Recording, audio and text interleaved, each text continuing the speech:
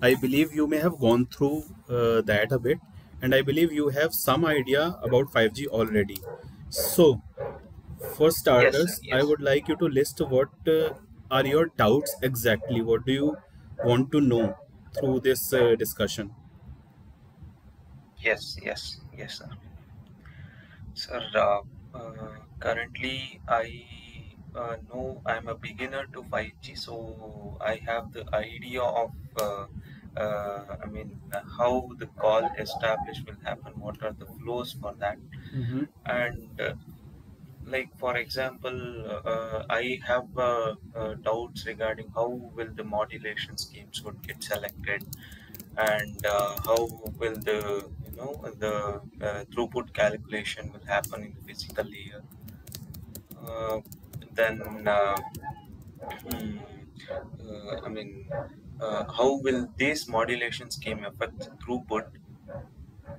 Okay. Uh, then uh, like uh, in the beginning, uh, like Why do you have band select?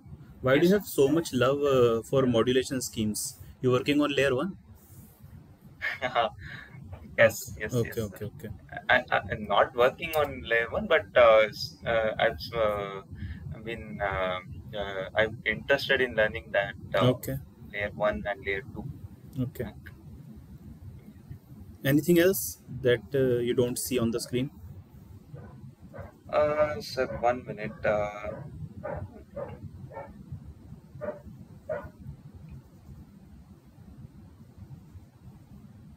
And also this one, sir, uh, like uh, uh, scheduling. How will the scheduling happen and? Uh, uh, I mean, uh, how will the resource allocation happens? That uh, things I have uh, Okay, I think this is too much. We, we won't be able to Yeah, yeah we won't be able to cover even this much today. yeah. so this is already too much. Okay, so first up, uh, for modulation scheme, this part, I suggest you watch a video I have already made. Uh, the video has a heading uh, like something like um, what does it say? I forgot. Link adaptation. Okay, in that one, Okay. I discuss modulation schemes in detail. Okay, I'll give you a Okay. little. I'll give you a little history, a general idea about what modulation is, how it affects throughput relation. This will that general history will answer all these three of your questions. The thing is, there used to be GSM once upon a time. Okay, it still is there, of course, but with respect to GSM, we used to have a speech call. Speech call is where it all started. Everything, the data calls, GPRS, eGPRS, that evolution came later. So first, let's talk about speech call. So when we have speech call, what we essentially do is we we first convert speech into electrical pulses. Okay, and uh, you understand, right? So we Yeah. first convert speech into electrical pulses. Okay, yeah, electric signal, whatever you want to call it, and those pulses are then converted into bits, and those bits are supposed to be transmitted over the air. Okay. See, uh, but that creates a problem of uh, uh, errors being induced while transmission is happening. You understand what I'm trying to say? Yes. Since we are over the air, the transmission medium is susceptible to errors. Okay. Yeah. So to counter that errors, we have to have a error correction mechanism. What do we need? We need an error correction mechanism. And Okay. For that error correction mechanism, we use something called called FEC, forward error correction. Yes. Okay. So forward error correction is nothing but it's like we have a string of bits. We had this block, it had number of bits inside it. Okay. So what do we do here? For error correction, we introduce some more bits. So this bits is not actual data. FEC is not actual data. It's something new that we are adding to the actual data that needs to be transferred. Does that make any sense? Yes. There Yes, was something that needed to be transferred. We added something extra to it. Why would we do that? That is not a prudent thing to do because uh, because it reduces our medium's capacity. Medium's capacity is fixed. Now instead of carrying uh, relevant data, it's also carrying something we added, which is not actual data. So we do this to make data more secure. It serves two purposes. One is error correction and the other is error detection. So basically FEC are additional bits also known as parity bits. So you must have heard about Hamming codes and all. You must have read them during your college. So it's similar. So uh, on the other end, the receiver actually when receives this thing is used. FEC is used. This security that we have added is used in order to determine whether we received a correct uh, correctly encoded packet or did we use did we uh, get something which is uh, corrupted either it's a corrupted packet or it's a correct uh, decode so is that okay that part okay you Yeah. understand that Yes. so yes, we yes, had so we had a transmitter here and we had a receiver here when transmitter sent something over the air it was data and plus security parity bits which help okay understood Yes. now Yes. the thing is that the link this link this mm. also doesn't belong uh, this also doesn't always behave in a same manner. Okay. Some play sometimes link is working better sometimes link is working uh, not so good. Sometimes link is working bad. There may be many reasons many reasons for that. See any area that has a good line of sight okay uh, behaves better than an area which is completely covered in tall buildings because those buildings add different kind of effects called multi-path fading etc etc make life difficult for us. Similarly the other interferences may also cause channel to be downgraded. Sometimes it may cause channel to be downgraded uh, for a short while not permanently. For example uh, let's say uh, an, an airplane passes through that's an interference uh, Yeah. through that particular area that particular geolocation and there may be many such things like that basically. There may be some uh, some communication mechanism itself is passing through. And that can interfere with the frequencies then interfere with the bursts. So those things can happen. So link we need to understand doesn't always behave in the same manner. Now the thing is another important thing is the ratio. What ratio should we take? How much data should have how much security? So Okay. there is not a permanent answer for that. There is not a one answer for that that this ratio should be taken. So in case of gsm we started with a single specific ratio which was good enough okay that it would uh, keep the data secure and we we would be able to have uh, error correction properly. But the thing is when the link was too good if the link was behaving very nicely too good then that particular fec ratio that we chose this ratio Ah. was not optimized. It was taking extra space. And when link was working even badly then even this would not save it and it will trigger retransmissions. Okay? Retransmission Yes, sir. eh, of course uh, affects throughput because you have to transmit same uh, data multiple times okay. So Yes. when we uh, came on to a particular uh, this ratio data to security bits ratio we kind of thought that okay let's assume the link will be behaving averagely. Okay. So if it's not behaving too good or it's not behaving too bad. So in case if it behaving uh, it was behaving averagely this was fine. This codec was fine. This was called codec. Okay and if the link was not behaving averagely if it was behaving very nicely then we were wasting space if it was behaving very badly then this was not enough and we were triggering retransmissions do you understand that part Yes, sir. Yes. Okay. So now the thing is, uh, then we came on to something else. Another thing was launched. I think it was somewhere around around uh, 1999 release of GSM. I don't know when exactly it was, but it was called amr call. Amr meaning adaptive multi-rate call.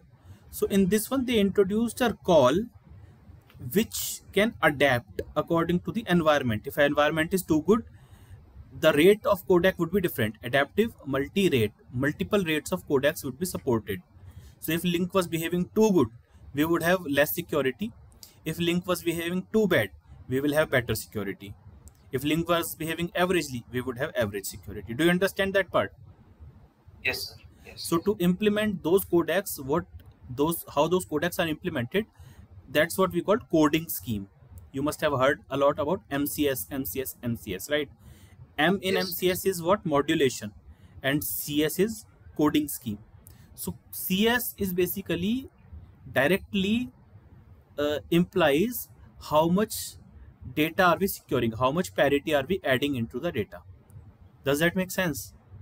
Yes yes. Okay and this whole process is called link adaptation. Through different coding scheme codecs we are adapting to the link. If link is link is behaving nicely we are putting less security. If link is behaving badly we are introducing more security and that's why we are calling it link adaptation. We are adapting to the link. Link means the medium of transmission. Does that make sense? Is that okay? Yes yes. So does that answer your question about uh, code link adaptation and coding scheme? Ah, yes, now now the thing how it would directly affect throughput? It directly of course would affect throughput. Okay. How? Because uh, the uh, the bad link will prompt us to add more security so that would be less data. And less data means less throughput. And good yes. good link means we go to better uh, uh, better coding scheme more data and less security which would mean better throughput right? Yes yes. So if we specifically talk about 5g in that case in 5g this is implemented via a procedure called cqi or csi channel Channel state estimation. Okay. Okay. Which is nothing but basically saying that uh, this is the resource grid. If you must watch a video on resource grid that i have put up numerologies and face yes.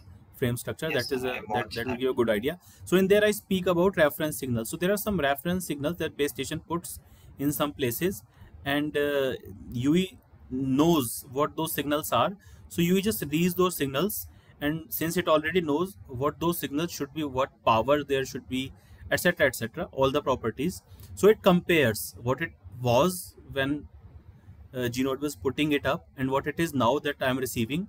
Based on the differences, it derives uh, how the link is behaving, how much the reference signal deteriorated while reaching to me. This part is called channel estimation. Based on that, it stays it uh, sends a channel state information to Gnode B. Okay, in which it has one CQI, channel quality indicator. yes okay जहाँ भी समझ नहीं आना है wherever you feel like it's getting more just let me know okay okay okay so based on cqi then e node uh, g node b decides which coding scheme should be appropriate and which modulation scheme would be appropriate okay and we already know what that means and how that affects throughput so i suppose this part you know mcs throughput relation by now yes Okay. yes. Uh, so there's that there's that. And now let's talk about modulation specifically. What modulation is? We have specifically spoken about uh, the coding schemes for now right? Yes.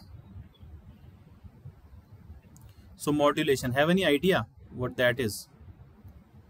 Uh yes like uh, QAM uh, we use QAM no no modulation i'm saying. modulation. So modulation is a technique in which we make a signal travel longer. And how can we do that? Yes. To make a signal travel longer distances we only have two ways to do it. Either increase it Uh. its amplitude too much or increase its frequency and carry it long distances. See uh, if i want someone who is at a distance from me to hear me then either i'll shout. Okay? Uh, so either i'll increase the um, amplitude okay the power of the signal or i will use a phone and what phone actually does it uses a carrier frequency, a frequency that is that can travel longer distances. Okay, and it will superimpose my signal onto that frequency, and uh, on the other hand, on the other end, we will extract the signal from the carrier frequency. Okay, so yes. the part of putting my signal, my voice onto a carrier frequency is called modulation. Okay. Yes. yes. Now, uh, what are modulation schemes? The thing is, uh, can you understand that it is modulation? I don't think so. Anyways, so let's say, uh, let's go a while back, and there used to be a voltage signals to code bin uh, binary symbols, basically bits. Okay so if this is going to be a, a, signal that is not analog it will have two levels you must have heard that voltage levels 5 or 0 yes, okay. yes. so the signal will go something like this um, something like this either it's 0 in an interval or 1 in an interval or 0 twice or 1 3 times or 0 something like this okay? Yes. Now tell me in this particular sim simple duration how many bits i can indicate? On one symbol how many bits i can indicate? Uh, that is uh, based on the schemes one bit one bit. I can indicate only one bit one bit yeah, yeah. okay one symbol takes up one bit. Yeah. Okay. Ah. But that's not so good. So somebody came up with a different plan. He said that okay instead of why not instead of having five levels why don't we have four levels? And of course zero. Now for a same duration keep the duration same we have let's say this, this signals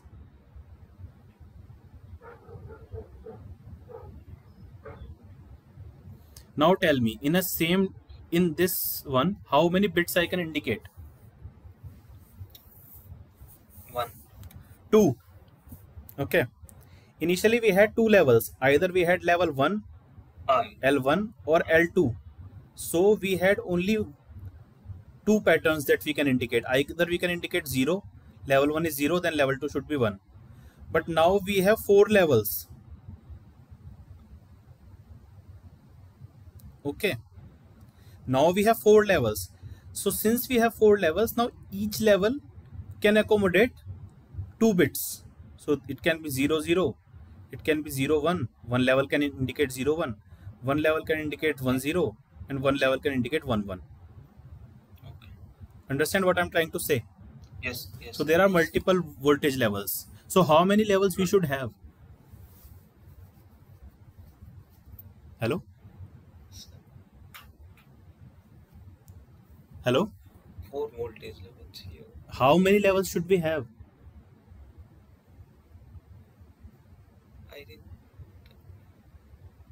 Come on, I come on, speak up. That. I didn't understand this. Uh... So we were coding only a single voltage level. Okay. So if we have two levels, how many bits we can indicate on each level? If I say want to indicate two bits here, zero zero. Okay then then this then basically two levels do not offer me four encodings it only offers me two encodings that will leave me to treat this as one and treat this as zero.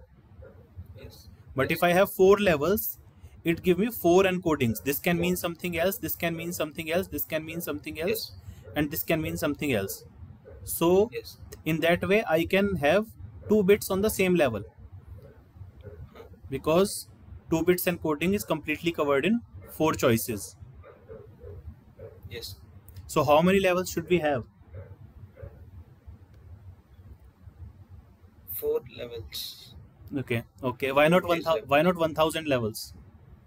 What if I had eight levels? If I had eight levels, then I would uh, I would be able to encode three bits. Three yes. bits. Three bit encoding require eight levels because zero zero zero then 001 then 010 100, 011, 101, 110, and 111. Yes. 3-bit encoding requires 8 levels. Similarly, 4-bit encoding requires 16 levels. Yes, 6-bit 6-bit encoding. So if we can send 10 bits in a same level, in in same time, basically, by increasing the levels, why not have a thousand levels? You you get what I'm trying to say? Why not make a thousand levels here? So the thing is, we cannot do it just because we want it. If we could do everything we wanted, the life would be very easy and very, I don't know. But we cannot do everything we want. So the problem with increasing levels is that it is very error prone. At one particular time, we did not have technology to support it. We did not have very fine instruments that can differentiate between these two levels, actually. These two. So while modulating, we would only use the modulating schemes that can actually have uh, that can actually work only on two levels, one and zero. So we, and as a result, we would have things like BPSK, which would indicate only one bit per symbol. But then technology got better. Theoretically, we can make a thousand levels. Okay, the thing is practicality so things got better we got better technology we got finer instruments and we became qpsk compliance you must have heard uh, so you must have known you must know already that qpsk can carry 2 bits per symbol. Yes. this was 1 now this is 2 okay? Yes. you must have heard something about egprs have you? Mm, gprs No, egprs okay so you are young. So when internet started on mobile it started with gprs okay? Then came uh, this was under the gsm umbrella only. And after gprs came egprs so even now when in certain remote areas the connectivity goes down instead of seeing 4g or 3g or u written on your phone you see g or e. So egprs used uh, a specific s- modulation scheme which was called 8psk before that the maximum that we had was 2 bits per symbol. So when egprs was launched it was like a really big deal that we could carry 3 bits on a simple uh, on symbol duration. So GP, egprs was the first one to make this leap from 2 to 3 okay. And now now you know very well where it is going. So we have uh, 16 QAM it can make it can Im- implement 4 bits on a symbol. Then we have uh, 64 QAM this has 6 and 256 QAM has 8 bits on symbol. Now tell me what what effect will it have on throughput? see since we are sending in same time duration we here can send 6 bits here we can send 2 bits. So of course throughput will increase here. Okay, so that answers your question here. How modulation scheme impacts throughput? Coding scheme we already knew modulation schemes you now know how it impacts uh, uh, the throughput. Okay? Okay. uh, now uh, the thing about how they are chosen. Or and what's the drawback? First of all what's the drawback? The drawback is these are more error prone okay? Again we are uh, traversing on uh, uh, over the air. These levels have are far apart from each other. So there's a uh, little chance of uh, this symbol mixing into this symbol. Inter symbol interference will be less even if it deteriorates a bit. Here the the levels are more fine. They're more close to each other. So this symbol can merge into this symbol very easily. Okay. So inter-symbol interference is more more error prone basically. As if you go up the more bits you want to put in more symbol. So these uh, mcs schemes become more error prone so again if the link is behaving good you will use 64 if link is behaving bad you will downgrade to qpsk and how do we decide that in 5g through cqi as we saw. So in specification i would want you to go to the specification now and check the table. You will see a table where uh, it actually maps cqi to different modulation orders and different uh, modulation schemes which coding scheme so there are 28 uh, modulation and coding scheme. Some of them have same modulation and different coding scheme. Okay? Okay. So understand is, that? uh, in- yes, little bit. Yes, sir. Yes, sir. okay. To understand this part better you should actually go through that uh, particular uh, video of mine. I covered that this all part in very much detail in that video. Link adaptation video is there. All of that is there and i have the advantage of a whiteboard there. So if you are interested in this one so this will be very helpful. Yes. uh, okay this let's not do it today. It's a big uh, uh, it's kind of a big concept in itself. So this will take more more time much more time anything that you see i have not covered in this part.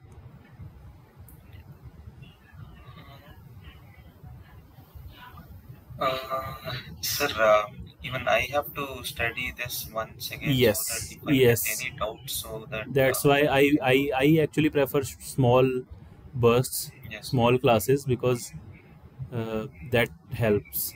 But yeah i do have uh, some videos about allocation also. If you go through if you decide to go through you can go through a video that covers downlink resource allocation type. So maybe it's that what you are looking for. Yes, okay. Okay. mr bhardwaj i believe if uh, if it's okay i would like to close it here for today. And uh, Yes. if you have another doubt we can schedule another session and we can do some more uh, brainstorming together Yes. Yes, you know how to reach me right. Yes, yes, yes. thank you man Sure, thank you sure. i really Thank enjoyed you. this today yeah Uh, sir, this levels you told, right? That is uh, like in the five volts itself. base band base band these things i have told in very you know broader picture it gets very yeah. deep it goes very deep for now i'm just telling you in a language that you would understand for now if you go very deep this is the part of baseband processing uh, the digital signal processing in baseband. The topic itself gets very deep. That is another kind of chapter in itself. Okay. For now what you have to understand is that we uh, if we want to put more uh, bits in a shorter duration in a simple duration then what we will have to do we will have to work with more uh, levels of the voltage to decide what pattern is being transmitted. See uh, in in normal uh, in very basic digital transmission we would say okay if the voltage is high it's 1 if it's low it's 0 only two levels. Yes. okay. But if we want to work with complicated systems like 5g we cannot have that. That is not sophisticated enough. We have more requirements. We want enhanced mobile broadband. We want more bit rate. So we need to be sending more bits in shorter span. Okay? So in, instead of indicating high and low we indicate multiple levels of voltage. Okay? So those are the basically levels of uh, voltage to indicate uh, where uh, what pattern we are sending. A level is nothing but the pattern. It just indicates the pattern. If we want a two a single bit pattern, we only require two levels, right? Zero Yes. or one. Yes. If we want two bit patterns, we have four Yes. patterns for two bits: zero, zero, zero, one, one, zero, and one, one. So we would require four levels for that. If we wanted three bits, okay, then grab a pen and a paper, write it down. You will see eight levels are required to Yes. Yes. do that, and so on. Yes. So the levels keep on increasing as we increase the number of bits. Okay, Yes. so Yes.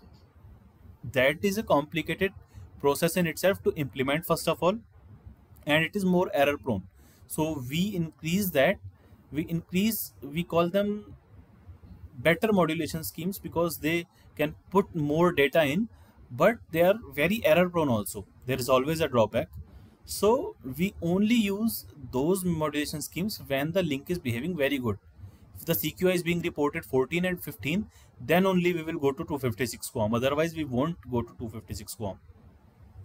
Okay. And once you will study CORESET and PDCCH, you will see that the control information that we send over PDCCH, we don't even use QAM there. That is considered a very, very sensitive information because if you are not able to read PC, PDCCH, everything is gone. You won't be able to get any data or you won't be able to send any data. So that makes PDCCH very important. So it's very sensitive information. So we always code it using QPSK. We never use QAM for PDCCH. Okay. Okay. So these are the modulation scheme basically. On baseband level, it will get very deep. So for now, you have to understand that what what the general idea is. General idea is same time duration, more bits. And how do we do that? We uh, we don't use just high and low voltage level. We use um, multiple voltage levels. Okay. Okay. Yes, sir. Yes. Okay. So. If you don't have any more doubts, I suppose we can call it a day and Yes. we'll meet some other time.